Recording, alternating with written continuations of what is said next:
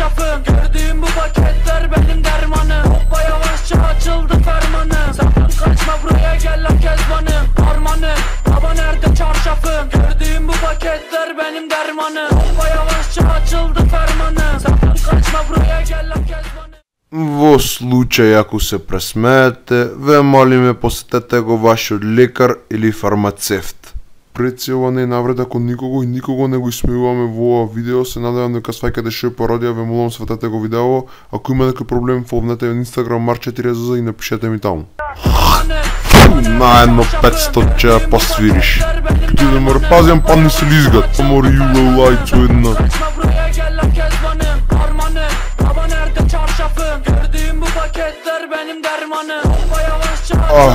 Gel lan kezbanım Harmanım baba nerede çarşafım Gördüğüm bu paketler benim dermanım Hoppa yavaşça Ах, ракијата. Kaçma buraya gel lan kezbanım Ben yazınca mı gol neşemiz yerinde Siz ayrı tripte bense düşüşte Anüs görüyorum ben bu sahnede Kafana je moja sudbina Ona me je sebi uzela Кај беше бе нормален 12 сатон? Ох, каква беше ракија на в кафана, бе не си свесен.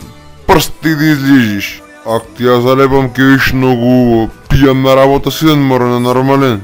Абе, најшо, жена ти ја видов кафана со некој друг беше.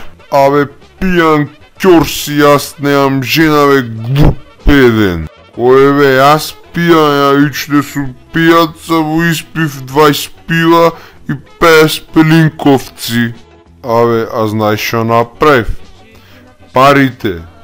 Знаеш што му направив? Шо ведан ти ги украдија? Не, брат. За среќа не ми ги украдија, брат. Туку ги зајгинав. Среќа не ги украдов, ама ги зајгинав. Што направам, брат?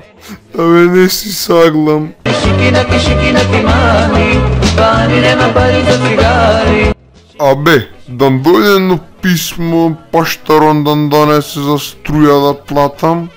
Абе, дојде пошта, ма не беше поштар, туку беше поштарка.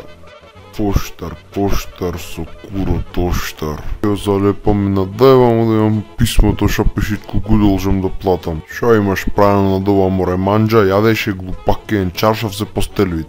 Абе, ова сигурно женската. Ајде да видиме што ми е пишено, сигурно многу ме сакат. Драг Тони, јас недов друг, многу те мразам, мршу пичко матер. Леле, леле срцето. Леле, а, абе ова масте на цедило бе. Со прст од вуста масте некој друг си нашла. А, викај она пожар, брза помош. Срцето, леле, ненормална. А, бидете ненормални ни да газда на госте женската со прст од вуста.